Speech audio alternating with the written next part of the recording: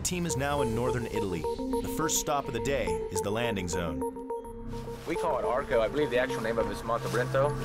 It's a, approximately a 3,000 foot cliff.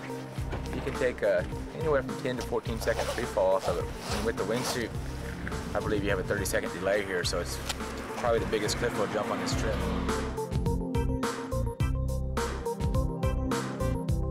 It's amazing how far out it looks. Maybe that's not five times to the river, but it's, when you're standing there on top, you look out and go, that's, that's a long ways.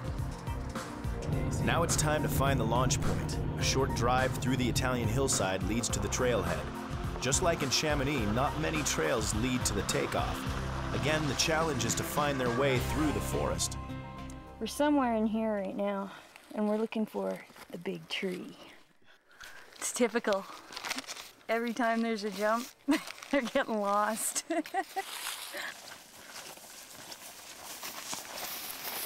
Wow.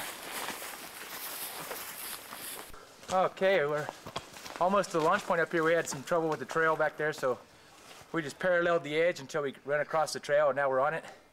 I figure we're five minutes away, so things are looking good out here. So we should be there in a half hour. Yeah. it's always a half hour.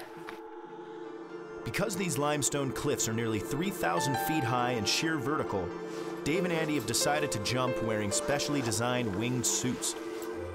And what the wingsuit is, is just a bunch of nylon fabric that, um, in a sense, makes your body webbed. It webs from your arms down to your waist and webs in between your legs and actually turns your body into a wing, turns the front of your arm into the leading edge of a wing and makes you fly. Um, and what that does in base jumping is um, allows you to jump off a cliff and actually fly away from it instead of just falling like a rock. Despite their futuristic look, these suits originally designed for skydiving are still somewhat untested when it comes to the low altitudes of base jumping. Until now, no one has come up with a safe form of the wingsuit. All the wingsuit men in the past are have all died trying to fly wingsuits. But today, um, with all of the new technology and parachutes and materials, um, there's now a form of wingsuit that is actually relatively safe and incredibly functional and really fun to fly. Trust is of great value when you're a base jumper, and having faith in your partner is almost as important as the parachute you jump with. To illustrate this trust, Dave and Andy have decided to make this jump together. Three, two, one. See ya.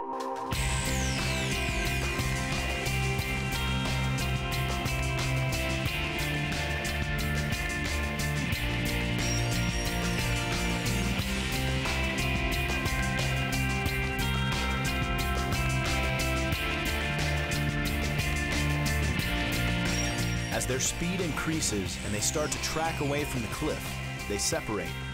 Dave goes to the jumper's left and Andy to the jumper's right.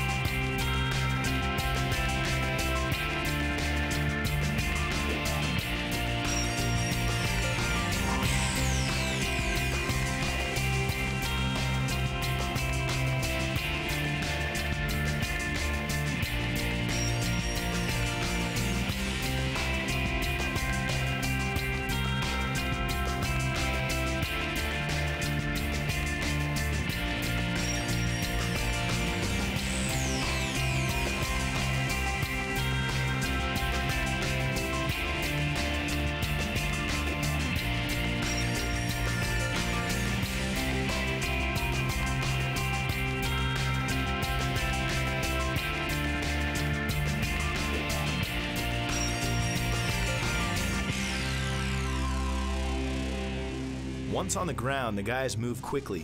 The field they've landed in is private property. Rumor has it the police will write tickets to base jumpers. Not because jumping is illegal, it's the trespassing they don't like. That was great.